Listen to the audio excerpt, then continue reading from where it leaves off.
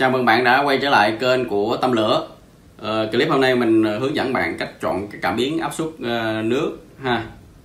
À, Đây là cái cảm biến áp suất này của hãng uh, BZ, hãng này của Nga ha. Bạn thấy hàng của Nga nó có cái logo chữ Z nè. Đây, mình uh, vừa mới nhập cái hàng này về uh, Cảm biến này về cho Cái này là dùng cho hóa chất này Dùng cho axit này Nhưng mà, mà hiện tại thì cảm biến mà dùng cho nước mình không có ở đây Thì mình sẽ làm clip dùng cái này để mình mình mô tả clip con cảm biến dùng cho dùng cho nước ha. Thì khi mà bạn chọn cảm biến áp suất dùng cho nước các bạn chỉ cần quan tâm nè thang đo nè. Thang đo nó có ghi trên trên ờ, trên thân cảm biến luôn ha các bạn ha. Cái này là không cho tới 63 nè.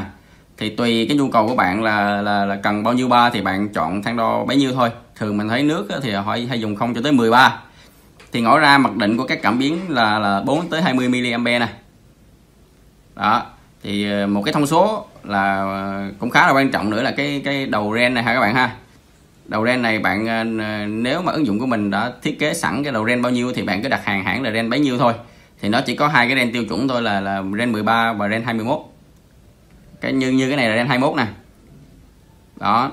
Còn vật liệu mà dùng cho cho cho ứng dụng cho nước á, thì cái đầu đầu ren này á, là vật liệu của nó là bằng inox ha các bạn ha. Còn cái này mình dùng cho axit cho nên cái đầu đầu này á, là bằng vật liệu của, của nó là bằng à, PVDF này để chống axit này.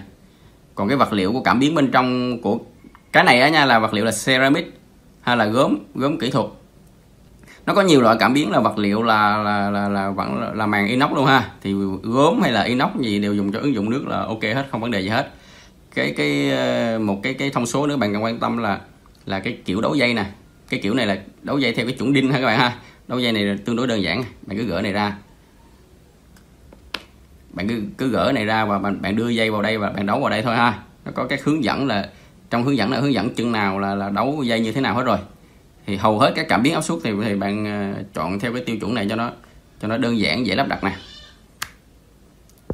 Đối, đối với các ứng dụng mà bạn cần ờ, hiển thị tại chỗ á, thì hãng này nó cũng có luôn một cái phụ kiện ha. Phụ kiện này cũng cũng tương đối là đẹp này đây là màn hình hiển thị nè.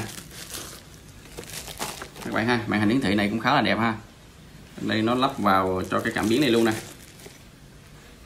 Không cần nguồn bên ngoài ha, nó chỉ cần nguồn chung chung nguồn với lại cảm biến nha.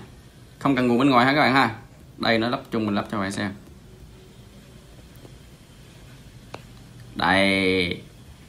Rồi cái bạn thấy đẹp không? Bây giờ mình sẽ đây. Đây ha. Rồi, các bạn thấy cái này lắp cái phụ kiện lên rất là đẹp nè phụ kiện này cũng tương đối là chắc chắn nha các bạn ha. Đây mình bây giờ cái phần đấu dây của bạn á, thì nó sẽ nằm ở đây nè. Bạn đấu dây xong cái là là bạn bạn lắp lại nó vào đây. Đó là nó vừa hiển thị vừa đưa tín hiệu 4 tới 20 mA về cho bạn điều khiển ờ, bơm hay điều khiển gì đó. Đồng thời cái này á, nó cho bạn cài đặt luôn một tiếp điểm ha cảnh báo ha. Ờ, ví dụ như là áp suất mà mà cao quá thì nó sẽ cho bạn cài tiếp điểm để bạn bạn ngắt cái bơm luôn ha đó, đây là là là một cái ưu điểm của cái cái hãng này mà mình thấy rất là thích ở chỗ là cái bộ hiển thị này rất đẹp này. Đó. Cảm ơn bạn đã xem hết ờ, video clip này. Nếu bạn thấy ờ, clip hữu ích thì ờ, hãy đăng ký kênh để ủng hộ mình. Nếu bạn có câu hỏi thì hãy comment bên dưới. Hiện tại cái dòng sản phẩm này là bên mình có bán cái thông tin liên hệ, bạn cứ liên hệ ở bên dưới theo thông tin bên dưới nha. Một lần nữa, mình xin cảm ơn.